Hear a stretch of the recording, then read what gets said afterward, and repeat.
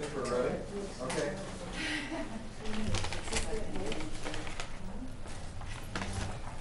Good evening. Uh, Welcome to the regular meeting of the City of Ojai Historic Preservation Commission uh, for Thursday, Dec- uh, June 8th, 2017. Uh, Roll call, Mr. Winiger? Good evening, Mr. Chairman, members of the commission, Chair McCready, Here? Vice Chair Akins. Here. Commissioner Hill. Here. Commissioner James. Here. Commissioner Quinn. Here. The record will indicate that Commissioner Convery has an excused absence this evening. Thank you. Uh, With that, I will lead us in the Pledge of Allegiance, if you'll please stand.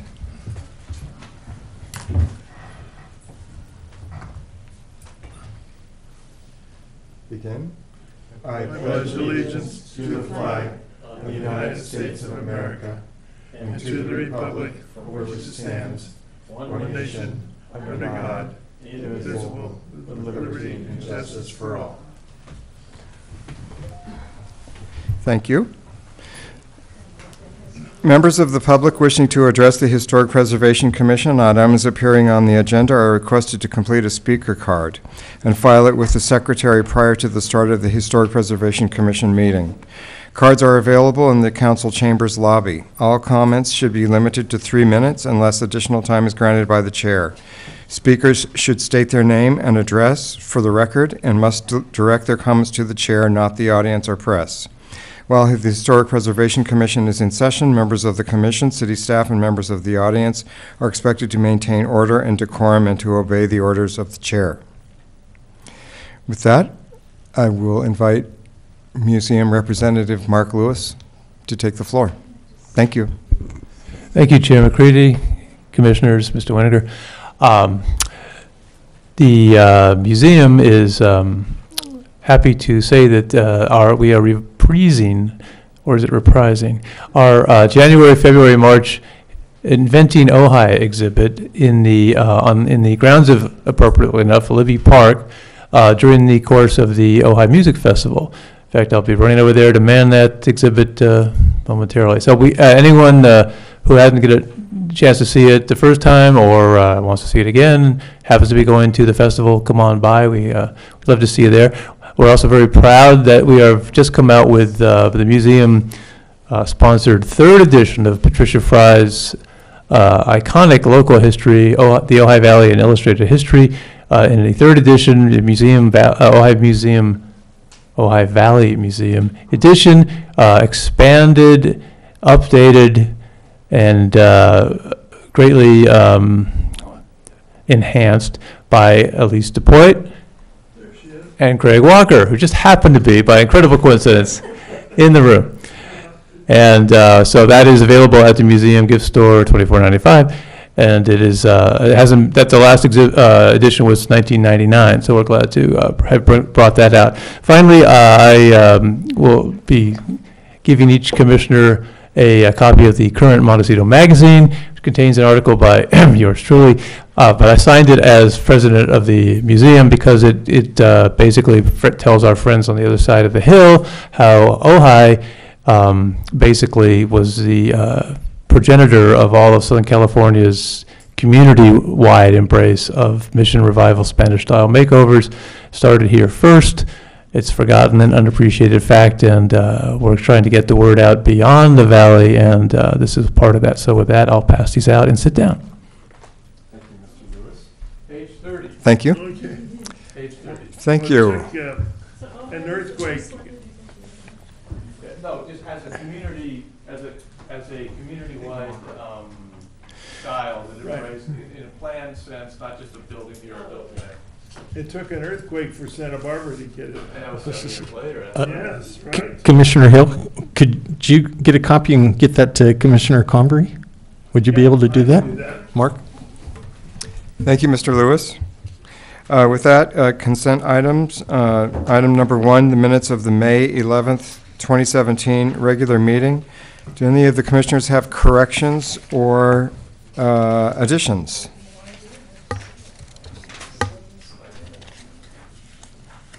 Uh, One thing that I noticed uh, on page three of seven, uh, about a third of the way down the page attributed to me, Chair McCready agreed with Mr. Walker's comments on the mid-century modern school buildings on site.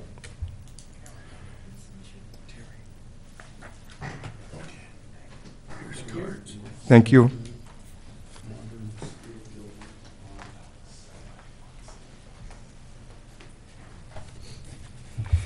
That's all I have. Are there any other comments or corrections from other commissioners?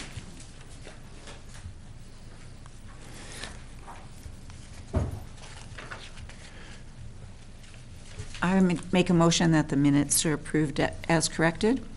I second that. So moved.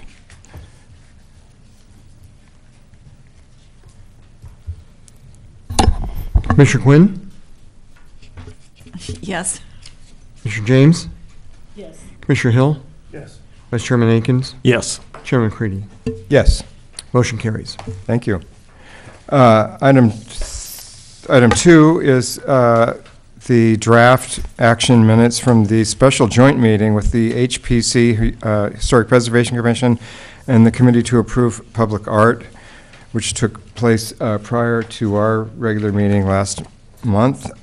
Are there any comments, corrections, or additions? I have a comment. um, In this meeting, this, uh, the special joint meeting. Yes. um, It didn't seem like we really took part in that. We watched. Um, And I was wondering why we needed minutes. Well, we did vote on the item. That's correct. They're essentially an act, just action minutes. All right. Then I move that these minutes I be just said, accepted. Do I have a second? I'd second it. Mr. Winiger? Do you have discussion? I just had a comment. Yes? You- Well, m- just my comment was, I didn't really even see any purpose for us having a joint meeting because we just sat and watched them Right. talk.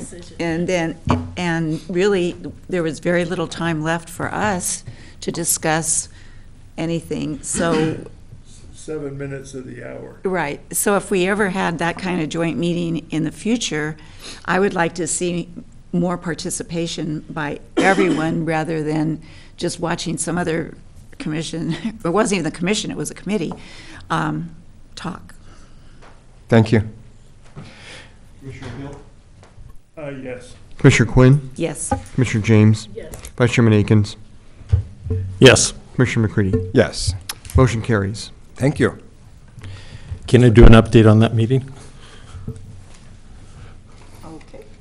Pardon me? I said, can I do an update on that meeting? Oh, yes, go ahead, on- Mr. on actions that took place uh, after that meeting. So after that, me- on that date uh, of that meeting, I believe that was when uh, our artist actually presented the cost. The cost that he presented to the, uh, to us that day was $28,000. That was first learned about that morning uh, by all all parties involved, and so that came as a bit of a surprise.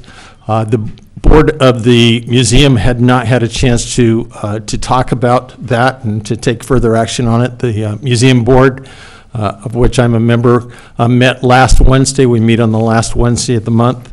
Uh, And at that board meeting, uh, they discussed the 30,000, which included the extra two for the, uh, for the, yeah, the coatings. Uh, And so I think everybody, uh, even at our joint meeting, was uh, kind of against not spending that money, that it wasn't really worth the value. So at the museum meeting, uh, it was discussed by all of the board members. Uh, The board voted with one abstention, that was me. Uh, And then, so the, uh, the next day, Mark Lewis, who was just here, he is the board president, sent a letter to the city council informing them that uh, we would be requesting an additional $8,000 uh, from the city uh, of Ojai. And so that uh, is being discussed now by the city council and was mentioned as a part of their budget meeting uh, last Tuesday.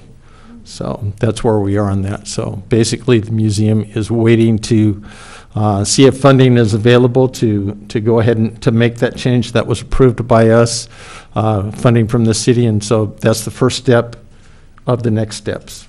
To see if that money comes from the city. If the money doesn't come from the city, then of course we, the museum board will have to look at what steps to take. But the thought definitely is that uh, to, at this stage and with all of the effort that's gone into, find a way to proceed with the design that was approved by, uh, in that joint meeting that night. Thank you. With that, uh, public hearing item number three, uh, resolution for the uh, Smith Hobson House Historic Landmark, uh, number 23. Mr. Winiger? Yes, Mr. Chairman, I'm going to address both three and four in part. Um, Both of these are the resolutions that are follow-up to the commission's previous action on both of these uh, historic resource surveys. Uh, Item number three concerns your uh, action to recommend designation of the Smith Hobson House, which is the city hall, uh, and the surrounding, the uh, property, the estate on which it's located, uh, to the city council for designation as a um, uh, historic landmark. And uh, item number four is a resolution that concerns um, uh, Grammar School, Nordhoff Grammar School, uh, Chaparral School, um, the, the, um, the property that is the subject of the second uh, Historic Resource Survey. Um, We've provided uh, draft resolutions for your consideration. They include the documentation with respect to the um, uh, significant characteristic and features of the, uh, of both uh, the recommended landmarks. With respect to um, item number four, um, you were provided by email with an updated uh, historic resource survey as a result of your uh, discussion at your last meeting. Um, based on your direction, uh, city staff asked that uh, Provenience um, Group, uh, who were the consultants that prepared both of the historic resource surveys, uh, include the, um, the kindergarten building, uh, which is the postmodern, uh, uh, mid-century Mid-century. um, building that you referred to earlier. Um, And uh, that analysis did find that there was significance uh, associated with that structure. Uh, So that has been made part of the uh, draft resolution and is included. Um, We also sent out to you an addendum uh, that specifically addresses that element of the, um, of the school, uh, along with an earlier letter that presented some preliminary information from uh, Ms. DiNardo. So uh, staff recommends that you approve both these resolutions, which would be forwarded to the city council for their consideration at a later date. I'd be happy to try and answer any questions that members of the commission may have. Do the letters for, or the people in the audience first? I, Well, do we do that. Do you have that? questions for Mr. Winiger first? I'm just wondering when, we're- uh, uh, maybe before, I'd like to just update the uh, commission on a uh, discussion. The uh, Unified School District met about a week and a half ago. They uh, had a meeting that, where they were going to discuss the school property, and they opened that uh, meeting up at 6 o'clock, an hour early, so people could come and take a tour of the school grounds. And so uh, there were a number of people there. Uh, Two city councilmen, Councilman Weirick and Councilman Haney were also in attendance. Uh, They took us and walked us through all of the different buildings, all the different garages, um, all the different administrative offices, through the cafeteria area, through the kitchen. It was quite an extensive tour of all, all the properties. I found it very, very informative, very enlightening, and and so after that, then they began the meeting at 7 o'clock. Uh, They ended up opening that up for public comment. And so um, I uh, made the uh, school board aware of what the process was with the Historic Preservation Commission, and all the way back to uh, asking for the funds from the city in order to pay for the historic resources report, which we have, uh, the delay in getting that information, and then finally getting that information, reviewing it uh, in a public hearing for, our- at our last, our HPC, last HPC meeting, and um, that we had uh, passed it unanimously of the commission members, the six that we had, and had forwarded the recommendation to the city council. Um, they had questions on, on, you know, what we were doing, what we had done, what our deliberation was on it, and so uh, they seemed receptive to it. Mark Whitman, who is a local architect, well-known, also spoke. Uh, He had ideas on, for the property. One of the things that Mark said that I appreciated was, his comment was that we don't need to be aware, afraid of historic designation. There's a lot that we can do with the school, with it having that historic designation in place. Because part of what I talked about was the fact that we have historical landmarks throughout the city that are repurposed for a multitude of things. I don't think we have any landmarks that are actually still doing the same, the thing that they were built for. Uh, I used the example of the uh, St. Thomas Aquinas Church. Some people still think it's a church. We're trying to uh, improve that. Uh, However, now it uh, houses the Ojai Valley Museum. And so, you know, we looked at it uh, being something that we felt needed to be preserved, needed to be recognized. However, we also recognized that within those, uh, that guidance, that we, it could be used for items while still maintaining the historic attributes of the property. And uh, City Councilman Haney got up and spoke too. The gist of the matter was that uh, is going to happen with the property there, it is a long process, and there will be many more public hearings that will take place.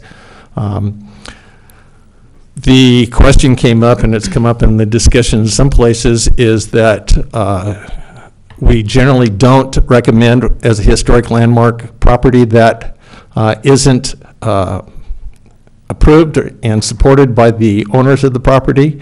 And they asked about that. We, I said, our, our job is to look at properties that are brought to us to decide on whether they are worthy of being recommended as a historic landmark with its historic attributes, and then to make that nomination, that recommendation to the city council. And once we do that, whether it's uh, decided to become a- a city council or become a landmark is indeed in the hands of the city council. Thank you, Mr. Akins. Um, I neglected to uh, invite the commissioners to disclose site visits and ex parte contacts, the same mistake I make every month. So I'd like to do so now. See, I've been by the school, but I didn't go by since our last meeting. Anything else? Okay. And I did the tours. as With just that. I will open the public comment period for item number three. Uh, Craig Walker?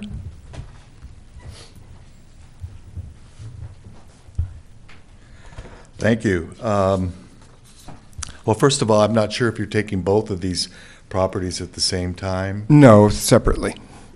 They're separate items. Okay, so which one are we addressing? Uh, This is the uh, school. Oh, Smith Hobson, I'm sorry. Okay, so you want me just to limit now to the school? Yes. At Hobson. Okay, well, I don't really uh, have as much to say about that one because I think it's a, it's sort of a, a no-brainer that this is a wonderful piece of, of Ojai architecture. You can see the uh, craftsman work that's left over from the days when this was a, a craftsman-style building, and then when Mead and Requa came to town, uh, to do the arcade and the post office and the pergola and, and so forth. They uh, were enlisted by the Smith Hobson family to come and redo this building and make it into a Spanish style building to match the changes that were going on. So, in that sense alone, it's, it's very historic. And um, also that it was turned into the City Hall by Zelma Wilson, who is a very important local architect, and she did the work that kind of drew everything together and made it into uh, the City Hall. I think for all those reasons that it would be a great uh, model for the community, for other owners of, of homes and buildings that are historic, for the city to step forward. And they've done a lot of uh, historic nomination and, and landmarking of the buildings they own, and this would be another one that I think is important for them to do. Thank you. Thank you. Can I ask? uh, Don Theeding? Can I ask the? Well, we're going to finish the public comment period, and then we'll go to the commissioner. Oh, do you have a question for Mr. Walker? Go ahead. Um, Mike? I'd be ver, okay, sorry. I'd be interested in your, um, outlook, uh, about the, the entire property rather than just this building. Right, well, uh, my. Being a, a, as a landmark. Right. Well, it was, a- it was an estate, and I think it is important that it be landmarked as an entire property. Some of the buildings were added later, so they're not really conforming to the historic. But I think it's important so that if at some point those buildings were going to be changed, they could be evaluated in terms of how they affect the historic nature of this building. Um, Again, it doesn't mean that you have to preserve those buildings, and if there is another building on the property that was built later and is, isn't considered to contribute to the historic significance of this building, then it could be someday that, that the city would want to take that down, and that would be okay, you know, because it isn't contributing or affecting the historic significance. But, um, but if they did want to build something or a wall or something that didn't, that detracted from it, then it would give you the ability to review it for appropriateness. So that's my feeling about Okay. doing the whole. Thank you. Thank you. Don Theding? Good evening, Commissioners. Uh, Dawn Teeting. My comment will be brief, and I am, um, as many of you know, on staff at the museum, but I am speaking tonight as a member of the general public. Um, I know that this topic has been on the radar and under discussion for quite some time now, um, many months it has been. And I'm not sure if uh, this point has been made before, but I would like to call everyone's attention to the placard, the dedication placard that is on the wall just outside the chambers here. It reads, "This estate was donated to the city of Ojai in memory of Grace Hobson Smith by Fred W. Smith, Barbara Bernard Smith, G. Helen Margaret Smith to preserve this landmark. Reconstruction to use the city hall was authorized by the Ojai City Council. The date on the plaque is February 22nd, 1976, 51 years ago. And I look forward to this being an official landmark for the city of Ojai. Thank you. Thank you. Elise Dupuy? How are you? I'm good, thank you. Uh, Elise DePoit from Ojai. Uh, I'm here to express my support for landmarking the Smith Hobson House. I first became aware of this property when I was working on my first book about Ojai, the public art of Ojai, and I delved into the history. And I actually um, I don't know if you're you know it, but there's a lot of Smiths that are a number of Smiths that are still around, and the uh, Smith business, the Smith Hobson business, is still in existence. They have an office in Ventura, and they're really into history. They even have a person in charge of the history of their family and their company, and they have a huge archive there. Anyway, I've been in touch with Greg a number of times, Greg Smith, who's now the head of that company, and Barbara, the granddaughter of uh, Abram Hobson and his wife, she's still alive. She's 90 years old. She lives in uh, Hawaii, and I, I have a number of email communications from her. So I have really connected to the history of this place, and um, I am very much in support of it being landmarked, and I, I think the whole place should be landmarked. The this main house was the Abram and his wife's house, and the one next door they called the little house was Grace and and Fred Smith's house, and then what we call the little house here was actually their a garage, and the the what you're calling the barn was uh, Abram Hab- Hobson's stables, and he is well known historically for uh, just being an avid horseman. So his horse stable, I think, is really important. Both he and Grace, their da- their daughter Grace, loved horses. So I think that's really important. And the tennis court, I think, is really, really valuable. So I'm in favor of landmarking the entire property. I, I didn't read the historical report extensively. I just kind of thumbed through it, and I have a lot of concerns about the historical data that that company came up with, but I do support their conclusion. But I really would be concerned about using them for doing historical work because there's a lot of errors in it and problems with it. But I don't Thank know if anyone's told you that before, but anyway. Thank you. Thank you for your time. Uh, With that, I'll open the uh, commissioner comment and discussion period.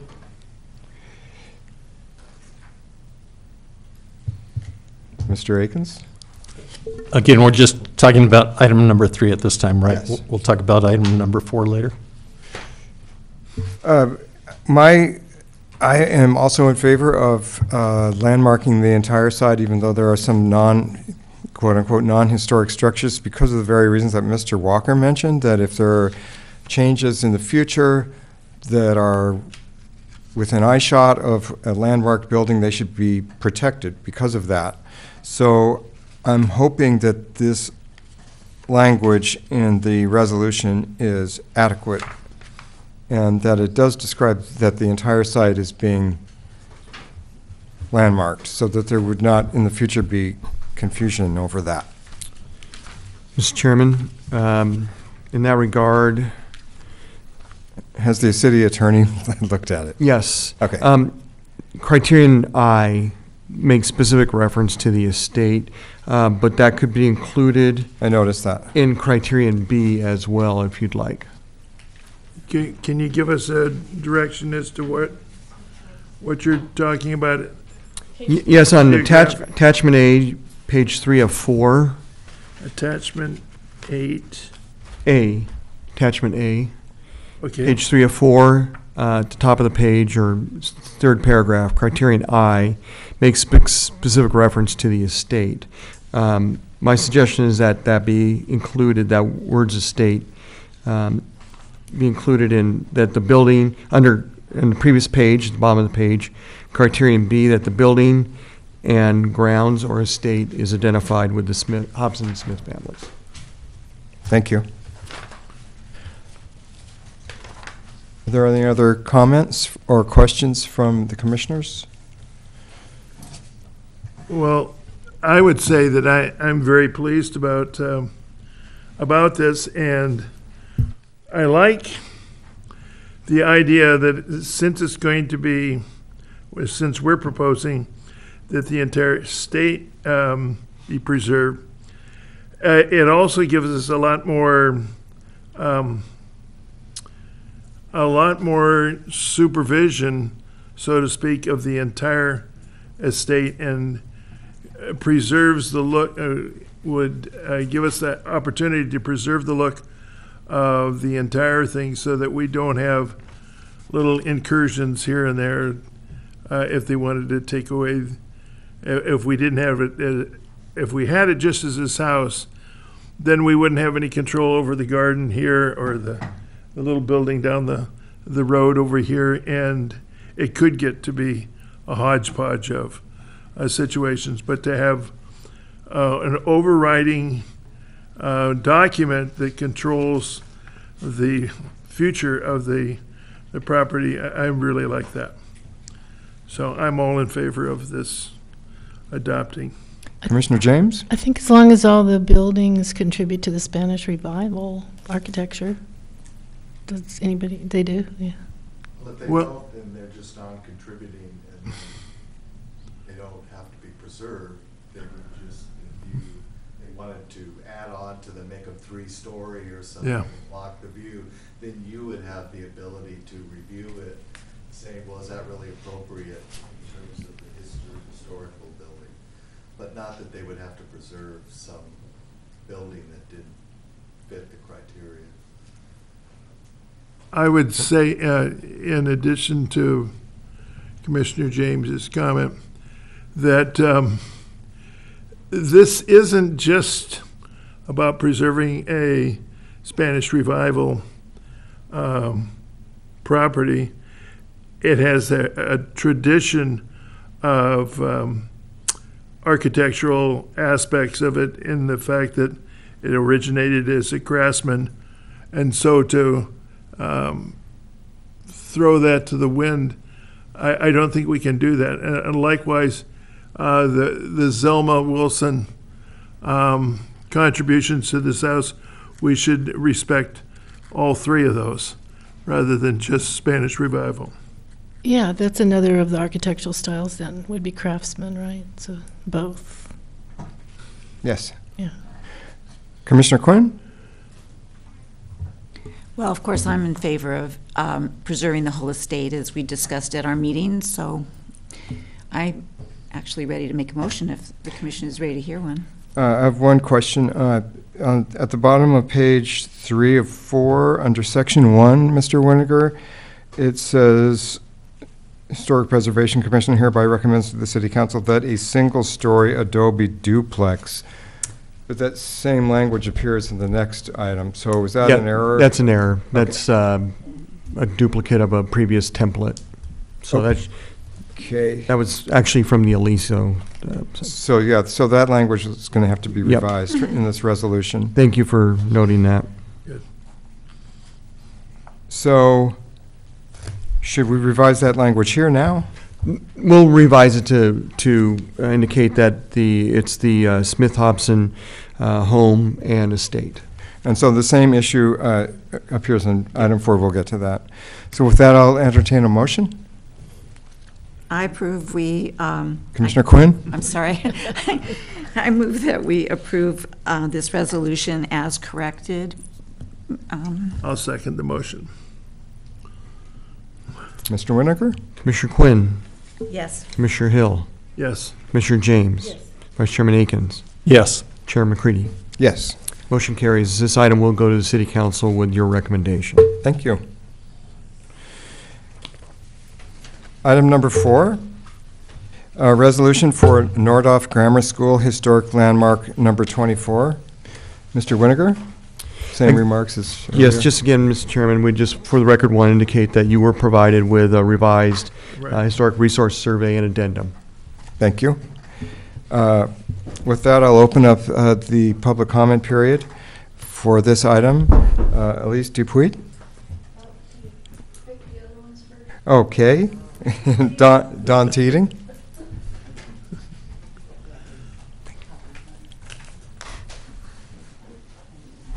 I tried to mix up the order.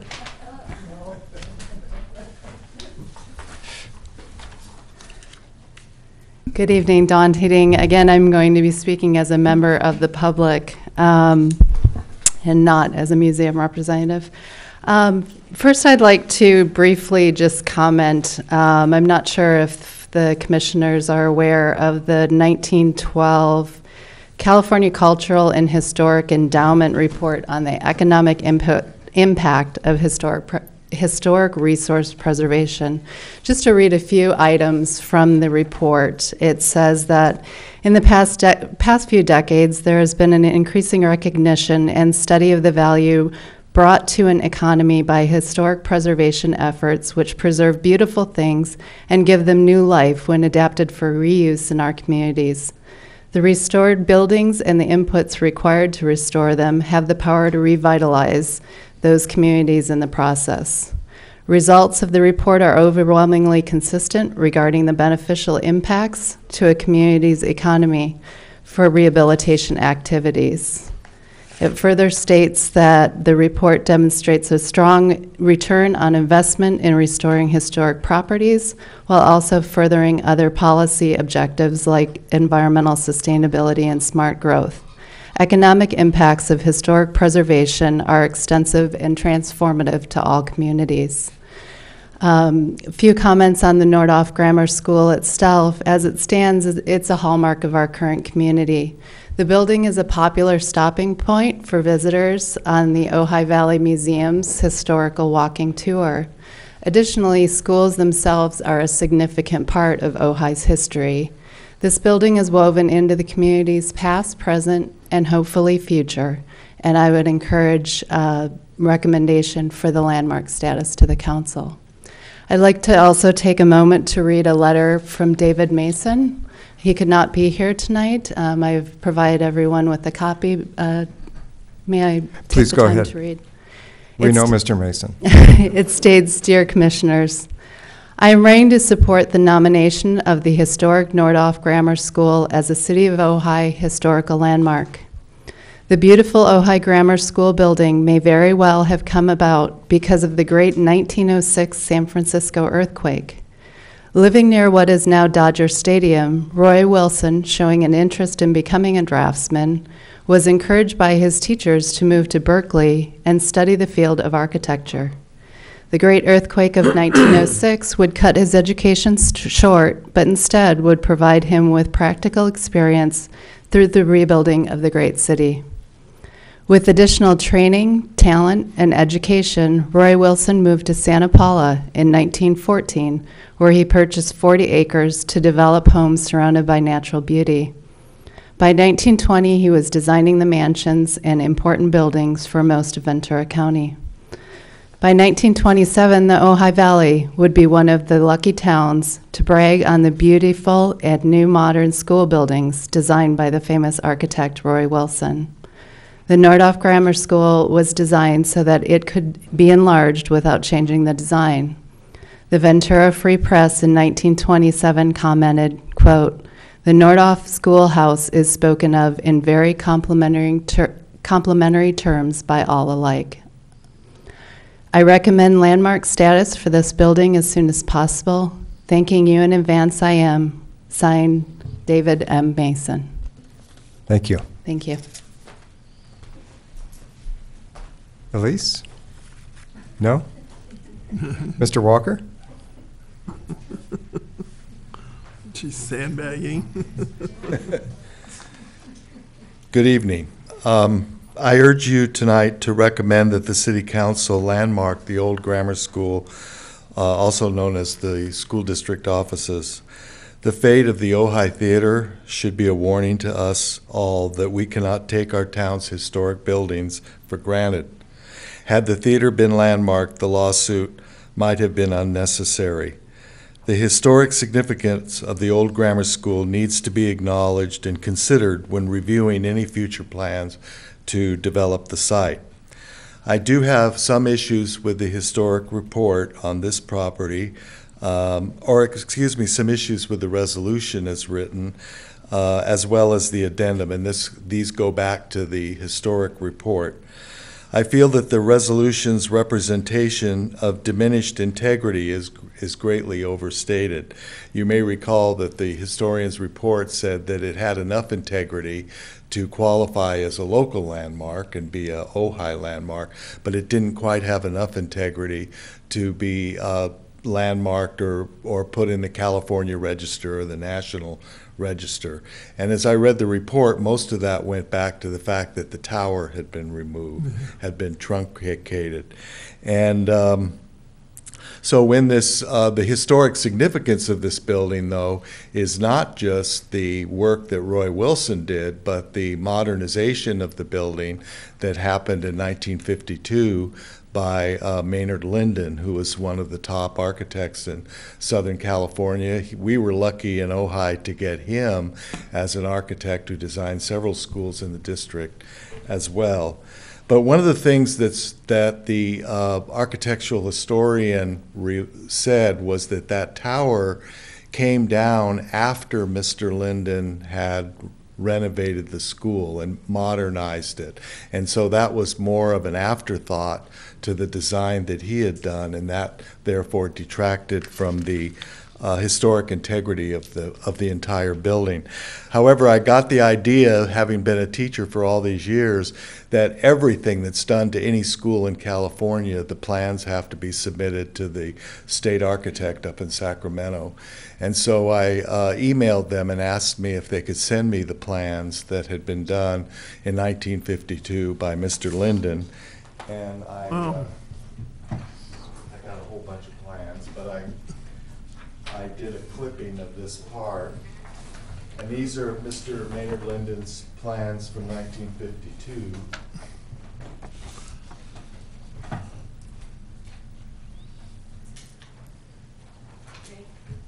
And you can see that um, that tower being lowered was part of Mr. Lyndon's design. You can see over on the right the drawing of the tower in uh, dotted dashed lines and the Oh, new yeah. tower down below. Also over on the far left, you can see his elevation that shows that in there. So clearly, the taking of that tower down, as much as I would have loved to see that tower remain, it was part of his remodelization of, or remodeling of the, of the building and should be considered part of the historic evolution of, of that school. So, um, in, um, the, the resolution under criterion C and E, it is really much more, I think, than just the auditorium and the kindergarten building that possess character-defining features. You know, it's the whole school. The, all of that was designed by these two men with the arcades and the overhang and the corridors. That all is pretty much this intact from what it was back in 1952 after these two gentlemen had worked on it. So I think the integrity is there that could bump it up into, uh, into register for the, the National Register and for the State Register. Um, Also, in the addendum under attributes, it says, unlike the rest of the complex, the Chaparral Auditorium still retains many of the original character-defining features original to the building, including most of the original fenestration, decorative tile, and vent elaboration. But really, when you uh, go back and look through the historic report, the only really thing that's called out as being something that detracts from the integrity of the building is that tower being removed. But now we know that it wasn't just something that the locals did because they felt it was weak. It was something that was actually part of this remodeling by, by Mr. uh, Lyndon. So anyway, I would urge that uh, you do this. I think it's something that is in the community interest. I appreciate what you say about liking to always get the owner of the building on, on board, but that it doesn't have to be the case. The way the rule is written, the community can ado- uh, nominate a building and the council can approve it if they feel it's in the interest of the community. And I think in this case, it, it really is. And it really is in the interest of the district too, because if, if we could get that up to be eligible for the California Register, the, whoever develops that property is, is uh, entitled to twenty percent tax credit, not a, not a uh, tax deduction, but a tax credit uh, for maintaining it with its historical status. This is uh, the federal historic preservation tax credits.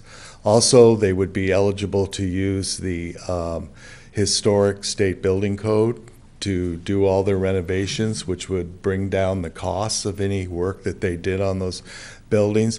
And not only that, but the city would be totally free to uh, adopt some adaptive reuse incentives itself, which other cities have done, like the city of Los Angeles has preserved many of their downtown buildings by giving development bonuses, uh, expedited reviews, and waivers of different zoning regulations to people who will develop these old buildings and keep them with their historic status. So anyway, I urge you to recommend that this be preserved. Thank you. Thank you. Can I ask a question of Mr. Walker? Yeah. Sure. Yes, go Okay, ahead. thank you. Okay, so uh, a, another item that came up in, in the discussion, uh, and again, when we talked to the, uh, uh, when I was there and visiting with the school district, you know, I explained to them that uh, we were, at the time we asked for the historic report to be done, we were actually unaware of the significance of the kindergarten building, but that had been brought to our attention by yourself in the discussion when we first made this recommendation, so they're aware of that. We talked about the different standards that are involved. Uh, I was happy when we, uh, uh, when we, uh, and the number of standards, and that only one of those standards is actually required for landmarking. I'm happy to see in this report that this report, of the 11 items that are, make it eligible for landmarking, 10 of them are selected. I, I I don't, re- haven't been here forever, but I don't remember 10 seeing the number 10 before of 11. So, um, but the question that came up, and, and again, going back to what you said about the uh, tower being reduced uh, because it was a part of Ma- Maynard Lyndon's design rather than uh, purely for uh, earthquake features. One of the discussions was, um, what if somebody came along and wanted to put that tower back up? How would we, as a historical community, feel about that? Well, I think that would be a decision that you would just have to make. I mean, I think that um, you could very well decide that you would want to put that back up, and the city could even offer some incentives mm-hmm. to them to do that. I think that would be beautiful if that tower. My only point was, it wasn't just a bunch of local contractors that cut Right. that thing Yeah. off and put a top on it and called it good. It was a, a famous architect doing his modernization of the school, and he was one of the pioneering modern school architects as well as doing other architectural work. So he was a famous person doing that work. He he produced that design, as you can see here. Again, it may have been because the materials were weakened and it needed to come down. So maybe it could be put back up. Okay. Compromise the original, the original design by doing that? I think it But it is probably did, but I think that uh, on every step of the way, when they've added to that building and created what they have, they gained something and they may have lost something. Like when you go walk around, when you walked around, there's two places on the um, north-south wing where there's, it it almost looks like an entryway, but there's rooms there. Well, those were passageways that went through. They were walkways. Well, when they started expanding the school, they closed those up. So you lost the passageway, but you gained something else. So, um, you know, there have been things that have been changed.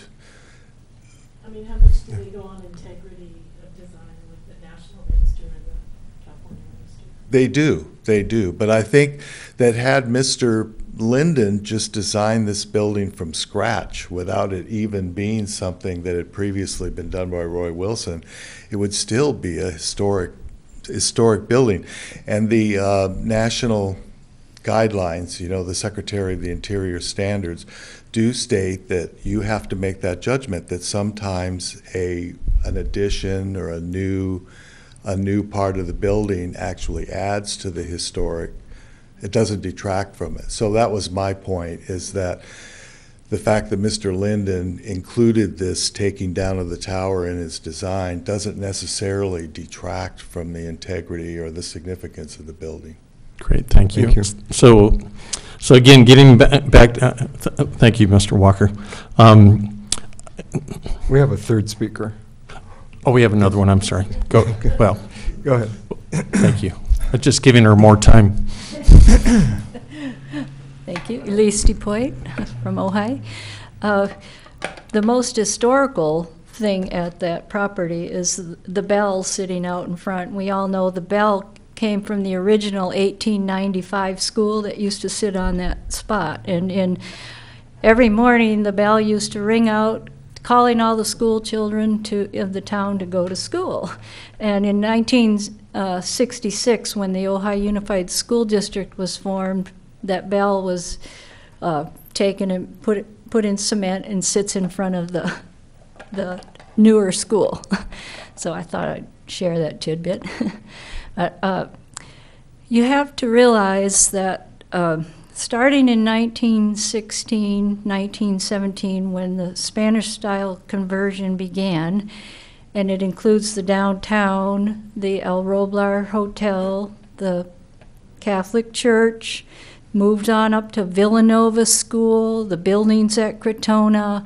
This is just part of this, the school was following this trend that happened beginning from 1916 all through the 20s, and it's a very important component of the whole scheme of the town. So I would encourage you to uh, landmark the school.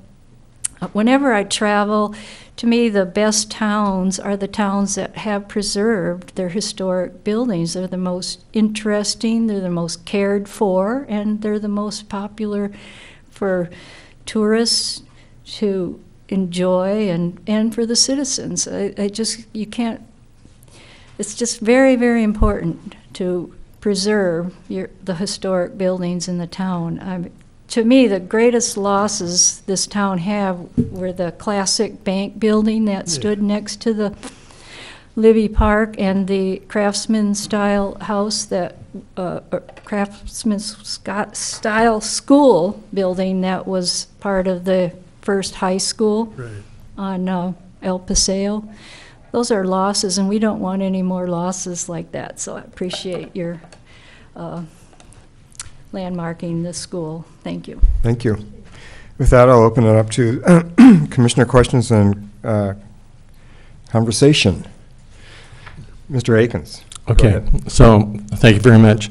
Um, So part of the, part of the question that I raised with Mr. Walker was that I would not want to do anything that would, enter uh, landmarking this, that would preclude uh, someone at a later date from restoring the tower to its height. Uh, However, the other thing I've been cautioned about is the fact that the city of Ojai has a height restriction. And by allowing that uh, tower to go to a height that is beyond the height allowed by the city, since it's, would be not a school at that time, that that may open its own can of worms. So, uh, again, just something for the record to keep in mind that, um, if possible, I think I would like at some later date to see the tower restored to its um, original height. Thank you. Uh, I'm still, now, maybe I'm con- getting confused here. Is the mid-century modern building that is back on, uh, is it East Deliso? No. Is that a part of this campus? Is that part of this landmarking? How's that described here? I don't see There that. it's in that, this part. Right. in The resolution. But in the resolution, is that in here? Because that's important to me, and I think it's important to Mr. Walker and others. Yes, uh Mr. Chairman, it's, um, um, Maynard Lyndon has made reference to, and on page, it's attachment A, Two? page two of three. Okay. so- Criteria D, and then the whereas, the first whereas makes reference specifically to the kindergarten building, Okay. So the kindergarten building is that and as building. does criteria C. So it's, it's referenced throughout here. If I may, um, And then I have the same question on this uh, item as I did on the last one. Is the city attorney reviewed this, and is the Yes. language adequate to protect, protect the entire campus? Yes.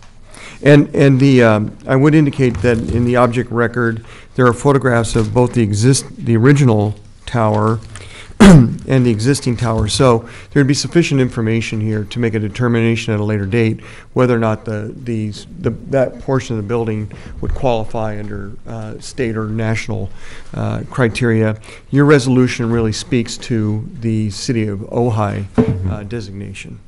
And, and the argument goes the same, uh, that, you know, certain elements of a campus might be purely historic, other elements not, but when you're landmarking that site, you have to do the whole thing because it's in part of the view shed, and later alterations to a non-historic element could affect the historic element, so I'm in favor of uh, this landmarking. Chairman, just for the record, just want to indicate that the same language that you pointed out in section Is that one needs to be modified. And actually, there's um, reference in criteria H to a residence that should, Yes, I should be noticed that. school. So we would make those uh, changes in, uh, in the uh, recommendation for the resolution. Thank you. Commissioner Akins? Uh, One other item that's come up, that was, uh, I think, uh, a question that came up during the tour, has come up uh, elsewhere. Uh, People are concerned that if we landmark the entire property, that somehow that would do away with the uh, um, skate park that's there. And I told them we are looking for build, uh, the justification for this is to uh, have some control over the uh, entire property because we are looking to protect uh, the significant historical parts of the property. Uh, And the skateboard park obviously isn't one of those parts of the property. Uh, And I don't see that anything we're doing would uh, do anything or be detrimental in any way to the skateboard park. Is that correct? That's correct. And there are maintenance structures on the site that would, the same sort of situation would apply. I- I'm- Just for those folks that have worked so hard for the skateboard park, that's your answer. Yes. Thank you. Yeah, I mean, There's, there's been tons of conversation about the skateboard park in the past. I, I happen to think it's a good thing. Brings the kids downtown and in a safe place. Just getting it on record.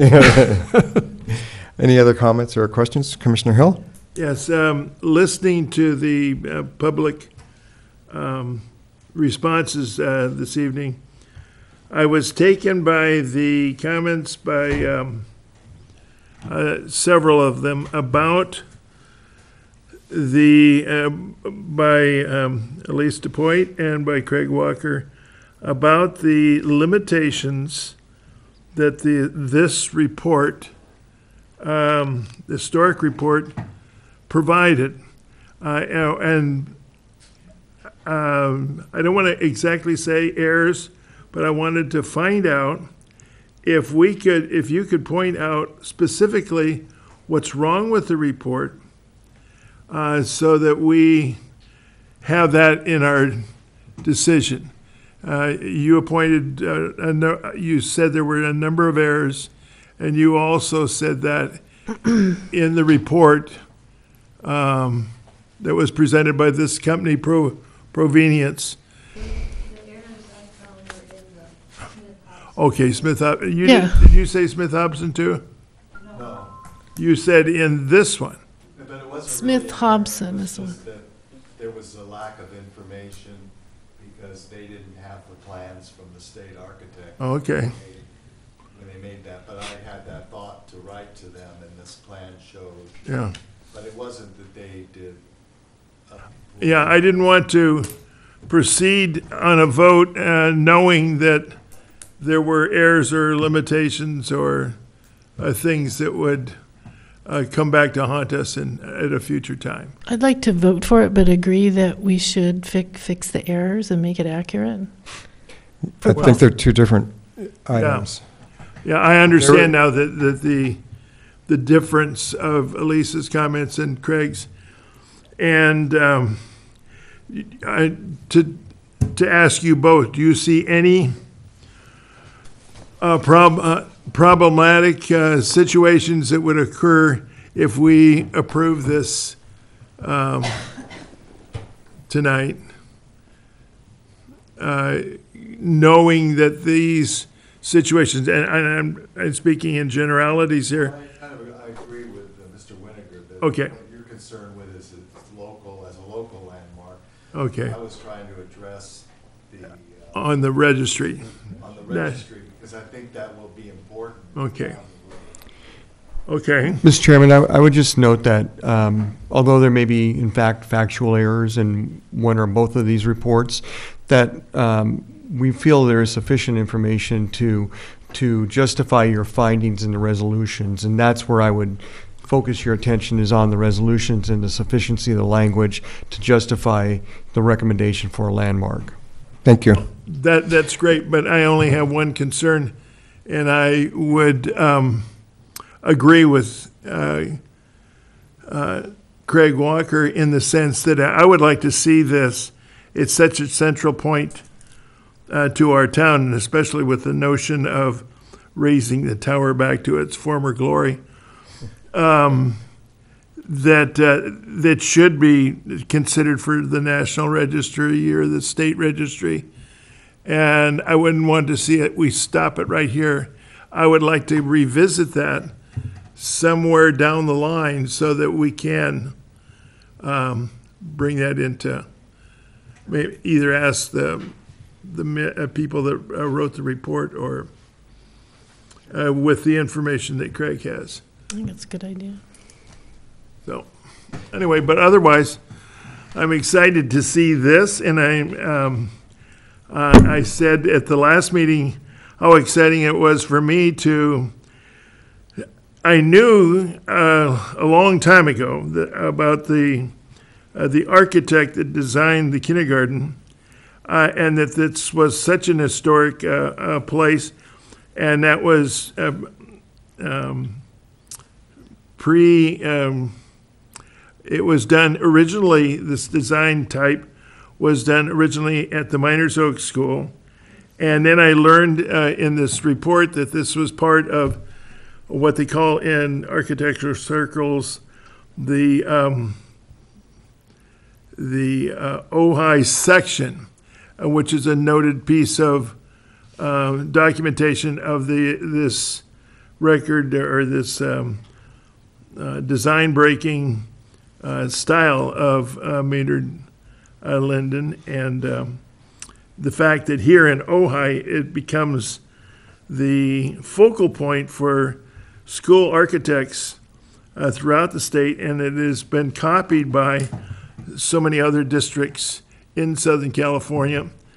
Um, and I know, I, I- remember how important, uh, when we first were, I first got on this commission, one of the things that I wanted to see was, well, let's look in the, in the guidebooks and the, the history books and find out just how many of Ojai's uh, properties are listed as historic places. And there were so few, I was astounded. Uh, but then I read that one of the places that was listed in uh, Gebhard, who was a famous art historian, uh, and whose papers and, and section is included at the University of California in Santa Barbara, listed in his book. He created a handbook for people to go visit historic places throughout Southern California. And there's the Meiners Oaks uh, Elementary School. And there, I think there were maybe two other buildings in all of Ojai that were even listed. Uh, so I thought that was pretty significant then. And, and the fact that my wife spent 18 of her years uh, teaching in that, in, in this building uh, at the back of the, uh, uh, the Ojai Elementary School uh, in such a um, important building. I thought that was pretty great. So we have the correction to criteria H, and we have the correction to section one. Are there any other corrections to the resolution from commissioners? Did you want to comment, Commissioner Akins? You have a quick question. Um, The update that we got from the Provenience Group, did did you ask for it- that, or did they pick up on that, or how did we get that? Yes, we. We asked for that as a result of your discussion. Excellent. So, uh, two things I want to note.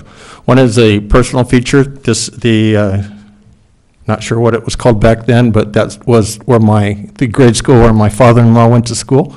And so, for, for That- Tom, That's at the Oakview School? no, this is at the Ojai Grammar, Ojai Elementary School, I think was at that time. Uh, And uh, two is, I would like to personally thank the, uh, the staff, uh, the council who mentioned this in their, I think it was last meeting, asking for this to be sped up, so it is taking uh, perhaps less than two months, and then, um, again, to the staff for getting this to us so quickly, thank you very much, and Provenience Group for uh, doing the turnaround on the kindergarten group under a month. So, big thank you to them, thank you for everybody that's involved in getting us to this point. Thank you. Commissioner Quinn? Thank you. Um, I totally agree with Commissioner Hill and with Mr. Walker. Um, If, I would like to see somewhere a directive that the um, consultant rethinks the tower so that when, at such time, if we're repurposing the building, if we're doing anything, that we know that the tower is there, and we can go to state and historic, have incentives for people who would, you, would repurpose the building, and would also give us some uh, additional control. So I would like to somehow enter into the record a directive to re, relook at that after we've made this vote. And there's precedent for doing exactly what you requested because the Presbyterian Church, uh, that tower that's on that church now had been truncated. And it had, they took out like a story and a half and they rebuilt that uh, and put in the, the necessary and raised that uh, tower. So you're looking at the, what the tower used to look like. Uh, not what I remember as uh, when I came to Ojai in 1960. I, I just want to say, and not only for the purpose of raise, re-raising the tower, but to have state and, na- and national historic significance. So pointing out the 1952 plans so that we do qualify um, would be what, my goal too. If, I mean, if it- that led to the, it being restored, that's fine with me. But, j- but more to have incentives for people who want to use the building um, for other purposes, but retain its historical status. Thank you. With that, I'll entertain a motion. I, I I would like to uh, make um, a motion to uh, write a directive uh, to be on hand uh, that would uh, espouse the ideas of uh, Commissioner Quinn. As part of the resolution to approve? Yeah, why not? Uh, I'm I'm asking, is that your intention? Sure. So the motion is to approve with that, uh, I second the motion. Is that okay? It should have a, um, a tail on it. It should have just an addendum that uh, there should be a directive that um, would encourage, Mr. Chairman, we would recommend that you add a section two that provides that language that basically says okay? that uh, directs staff to seek reevaluation of the tower element of the uh, main school structure. Okay. thank you. Do we need to uh, take another motion? No, that's, Okay. that's fine. Roll call? Commissioner, Ja- I mean, Commissioner Hill? I, I'm not sure if that also included the consideration for um, state status? Well, that would be That's not- included in that, that's the intent of that section, would be Yeah. to be- uh, facilitate that. Uh, I for the, Commissioner James? Yes. Commissioner Quinn? Yes. Commissioner Akins? Yes.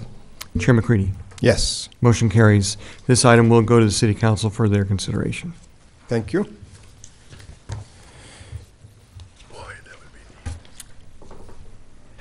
Uh, That concludes our public hearing items for the evening. Are there, if there are any other discussion items, commissioners? I have the, um, Commissioner Hill? at the um, last meeting, we were fumbling around with the idea of having this um, meeting uh, that would be the, our goal-setting uh, meeting. Um, Retreat? It it was labeled as a retreat. And what's happened is that we've gone until, we've now exhausted the days in May when people could come and not come. And it was suggested that we add Sundays to the list. Well, now what I have in front of me is the dates that my wife said that we could, it's getting, June is as bad as May. Uh, so the dates that we could do it, um, if we wanted to do so, uh, would be in June. And that would be either June twenty-fourth or twenty-fifth, What day is that? A Saturday, Sunday? Saturday and Sunday. I am not available on the 24th. Okay? Well, I'm, I'm available on both days, so. So I don't know what the, I don't know, Brian, will you still be gone? Not in the country on the 24th and jet lagged on the 25th. So it looks like, uh, we're not gonna be able to do this. We will, will continue trying. Yeah, one, one of the things that we have done in the past, um, Typically been in January, that's when we usually do it. yes. Uh, and what we do, we don't have, uh, the regular meeting that month. This becomes the regular meeting. And what we w- would do is conduct our regular meeting first before the retreat starts, um, and spend an hour. uh, at doing our regular business and then go into the aspect of deciding goal setting for the, for the remainder of the meeting. So it wouldn't, um, see, what we're trying to do now, we're trying to, by plugging it in here, we're trying to do two meetings in one month. And I think that's becoming a strain, trying to do that. Let's, let's do this. Let's try to get back on our old schedule with and, me. and uh, just say that the commissioners will be thinking about January and that our regular meeting will be a daytime weekend day. And it'll be a, a uh, public meeting, publicly held, note, publicly noticed meeting, and then we'll go back, and we call it a retreat, but it is a publicly noticed Yeah, and my, HPC meeting. right, and my house has handicap, um, access, so you can get into the, Okay, the house. thank you. Are there any other, any other discussion items from commissioners? Commissioner Quinn? Thank you. I was going to bring up what Mr. Walker brought up about the Playhouse, and I've not been on the commission long enough to know why it has not been a landmark, and, um, and so if- if anybody can tell me that, I- or I would like to say, why aren't we considering landmarking the Playhouse? Uh, It's one of our sites of merit, isn't it?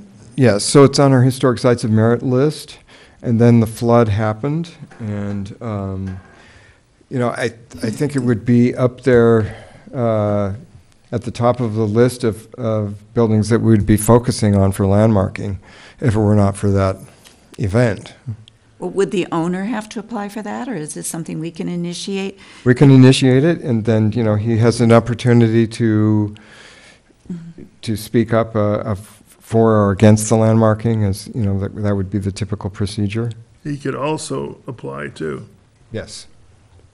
The person in, in the audience that knows more about the Playhouse than anybody else is Elise DuPoit. She and I spent hours and hours, and days and days uh, going over the history of that, that building. And so she knows all the owners, all their past and uh, the total history, so.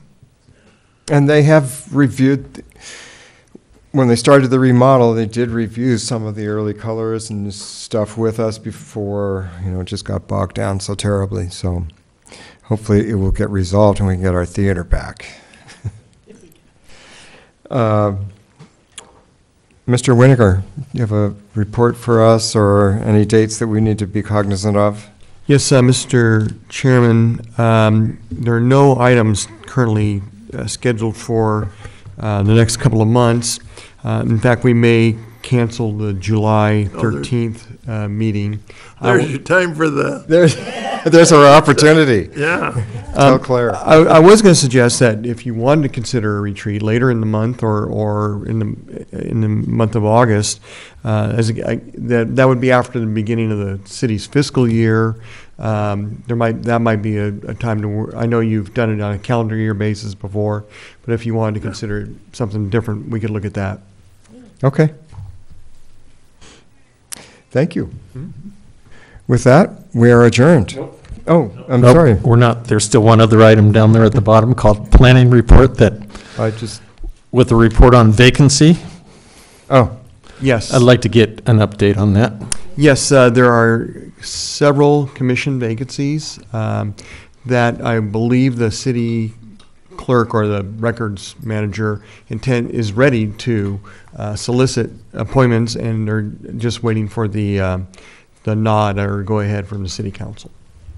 From the mayor, correct? It's, it's really the mayor that makes that decision. I believe that is correct. Okay, so, so we're, we're waiting for Mayor Johnston. I I believe that is correct. And he was supposed to be here tonight. It, it it is, because again, when our, our vacancy took place, it was advertised in the paper. Uh, that was many months ago. Right. And I do know of people that have applied for that position and, uh, not heard anything back. And so it's maybe making our objective to fill that position a little bit more difficult, so. Thank you, everybody. We're adjourned. Okay. The camera's still on. Yeah. Congratulations. Yeah.